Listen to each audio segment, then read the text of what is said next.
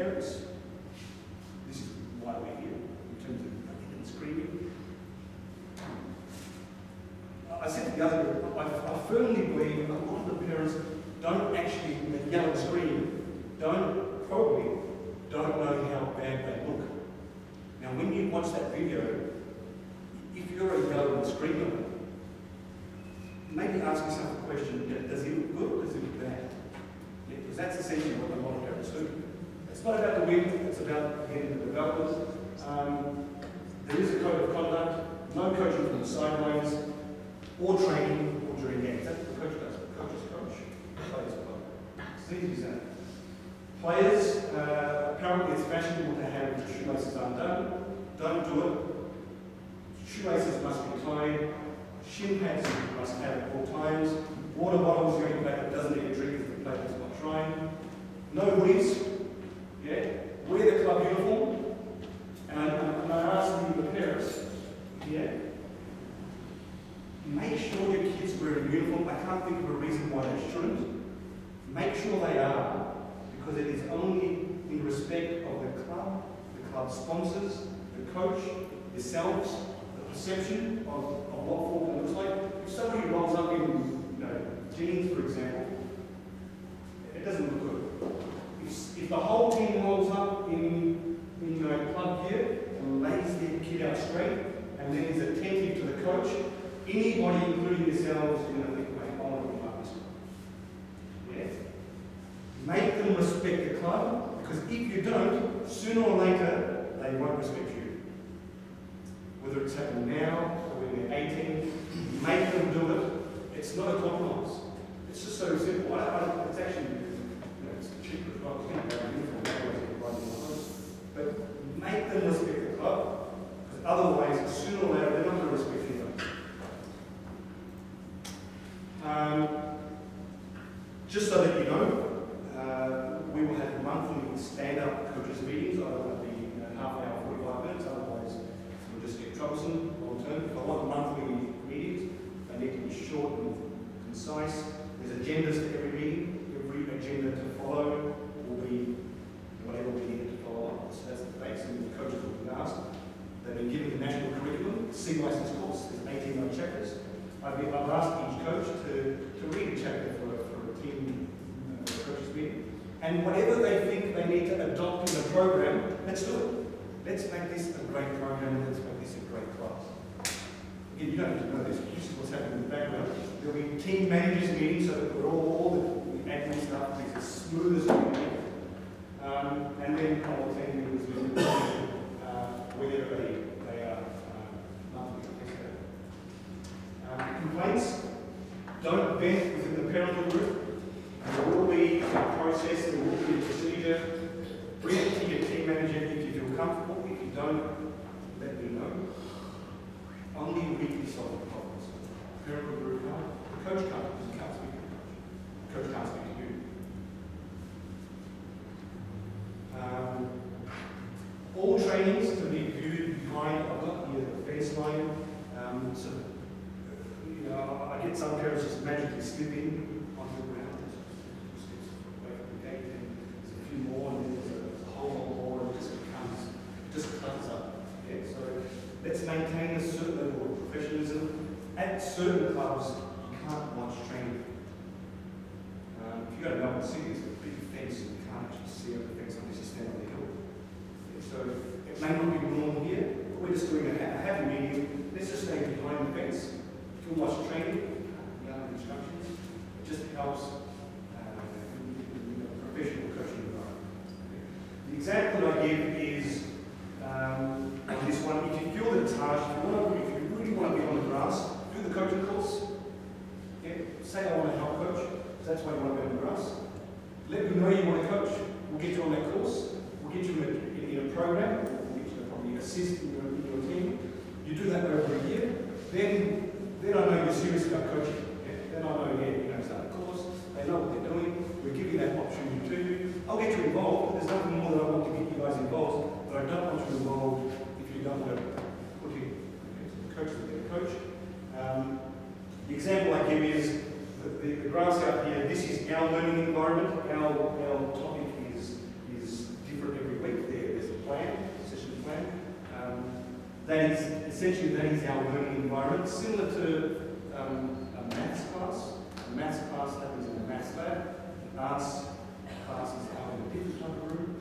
Science in a different type of room. We don't go into that room and say to the teacher, oh, I don't like the way you're teaching. You know, do it this way, do it that way, don't teach this topic. No, we, we don't do it because there's no expectation that we can do it. Yet, for some reason, there is an expectation for unqualified coaches to start coaching from the sidelines.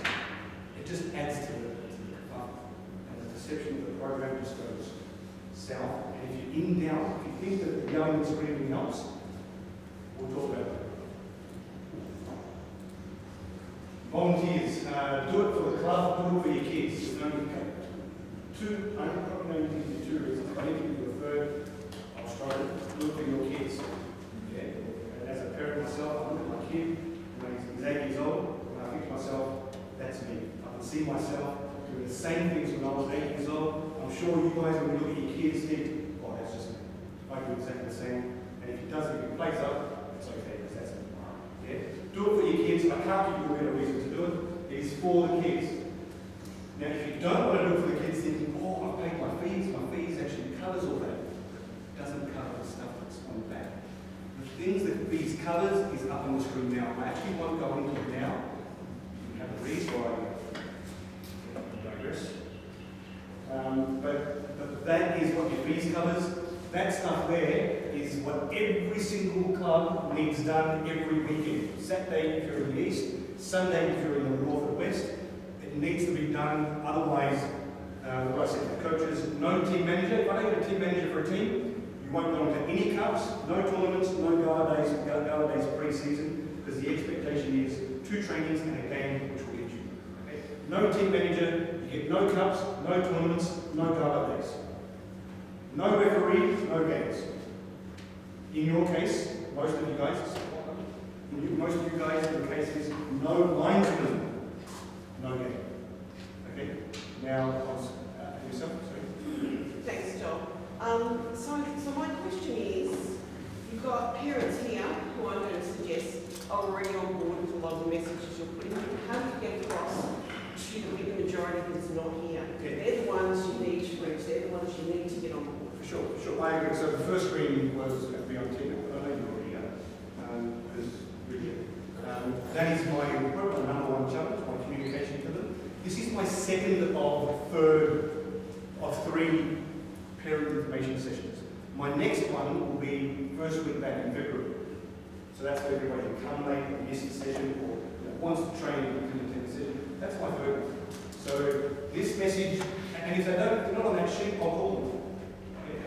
I all of you probably got SMSs from me saying, know, be here today. Actually go down and sit there and send out 450 odd SMSs to 400 parents. I do that because I've got SMSs. I'll do it. I'll call everybody and that's just the way I am. Um, that's probably my, my biggest problem. And, and I think it's not the, I don't think they do it consciously. I think, you know, they just don't know. It's new. You know, they, that, I actually email a lot of people and they say, did you get my email? Oh, no, I didn't get. I don't actually read my emails. Okay. And from that point, my SMS. Yeah, and then to my SMS, I actually call people saying, you know, what's the go? So, look, that's my number one problem. But uh, I'm, I'm, I had something else to say. but forgotten. It's okay. Yes. Um, so everybody needs to volunteer. Um, they're the basics. Uh, there, are certain roles that the committee does a great job, and if you ask yourself to, to, to, to paint a painting, you get a very bad painting. So I can't paint. Yeah? And I'm sure if I get someone who's artistic like my daughter to paint a painting, she'll paint a really good one. Yeah? We're all good at different things, and the committee can only do so much. Yeah? There are certain things that, that you guys can do that we don't know about because we can't ask individually. Um, yet we'll ask collectively. There are things that need to be. Sorry, I digress. No team manager, no games. Um, sorry, any reading. Um, uh, the referees, I was going to say, sorry. Uh, no referee, no games. Okay, so no linesmen, no games. I had a question, well, what if we don't get a referee? As the example that I gave to the other group was an example that I had during the year. One of my best under 10 teams, gun team, best kids. Uh, parents everybody knows what's going on. They're all educated, play football, all born here, um, which makes a difference. Um, the, they said, oh, no, no, we don't have a referee today. I said, just pull off the game. I said, what? "No, we're playing Sunbury. Sunbury's like, you know, I said, oh, I don't care who we're playing. You don't have a referee, just call off the game. Within five minutes, I had three refs. Yeah, so I get you're able to do it now, and I, I will get, if there's no referee, I will get that. I'll be able to say, yeah, yeah, yeah, okay. There's, there's, there's no referee, the script will help out, but I can, I can definitely tell when there is a ref. Would you be looking at doing some ref courses for the parents?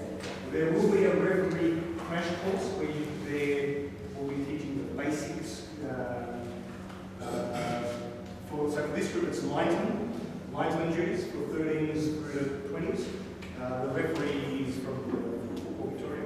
Um, so there will be linesman uh, crash course. For the younger group, there will be uh, referee crash courses. We're not going to throw you in the deep end. Um, you'll, you'll ref some games here. So blowing the whistle for some people may, may be a big deal. Yeah, it's not, it's not easy to go out in front of uh, 50 odd people and start, yeah, you do this, not easy, you haven't done it before. So there will be a crash course for lines people um, in this group, referees in the other group. Video, so no referee, no games, no video camera um, uh, volunteer, no video analysis. It's need somebody to shoot the video camera.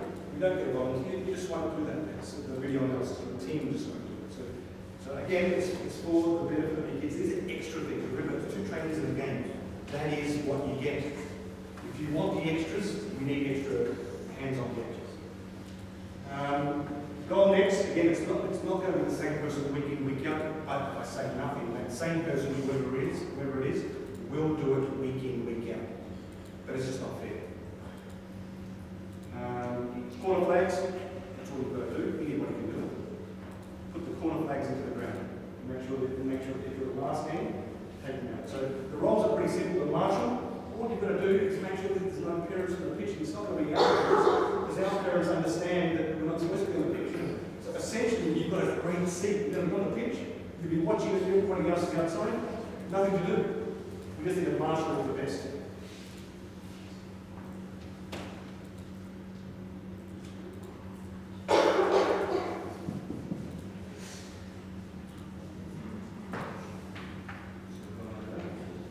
Okay, this is where I started off before I made the screen. Um, so there's only a certain, you know, we can't do everything. The painting example, there are certain things that you can do that will benefit the club.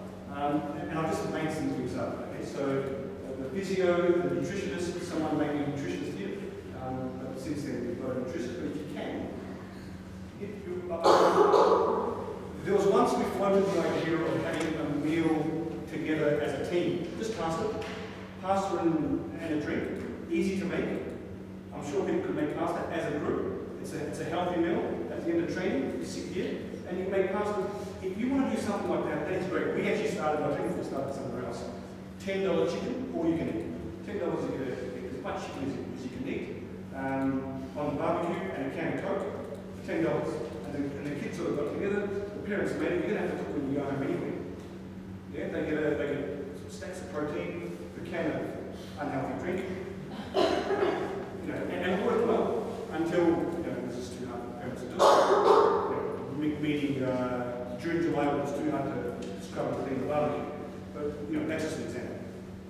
Uh, wellness expert, webmaster, someone called results, grants. There's so many things that we can do, but we can't because there's not enough hands-on yet.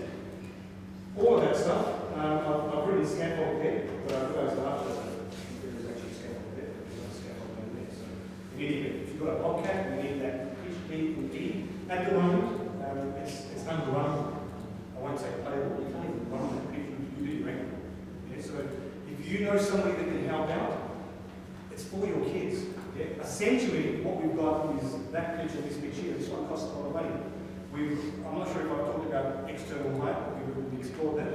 Um, pitch D and E, everybody wants to be here. And they can only be here if pitch D and E are fixed. At the moment, the only, there's not many teams that are going to be playing with that as is.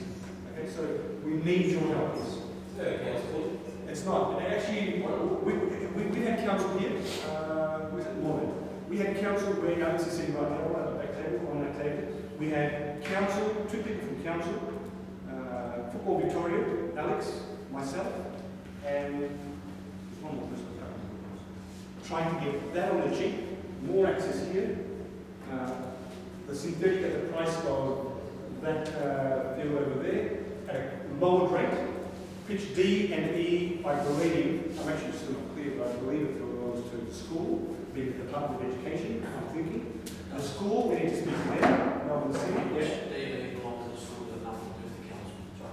Yeah, so, so it's a school, so I'm I'm finding this stuff out as well, uh, belongs to the school, who we have, we need to speak to with Melbourne City, who I'm meeting on Tuesday, to, to get more done with them in terms of, uh, player development and progression. Um, but again, that, that, that progression will only be viable if have right training environment. So you, you know, you've got kids here who are eight years old training, doing twelve sessions a week.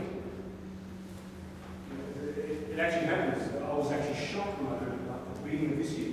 I do nine sessions a week. I'm like, how is that possible? At, at the another at, we went from 64 sessions, and I remember when I first joined up, we got smashed by Wilson Rangers. I think it was 15 nil. Young Adrian couldn't sleep. How, how can we be that far behind? What do we do? Work out how many sessions we do, work out the whole year, over three days, start listening to podcasts. There's a guy in Japan, he, I forgot what his name is, really famous. In Japan, we're so great, we do 100 sessions a year. Last year at, at Green Gully, we did 167 sessions. My kid sometimes plays up 10 games a weekend, Saturday and Sunday. Some kids just, and when I, I heard nine sessions a week, yeah, this is like 19 year olds. I couldn't believe it, but it happens.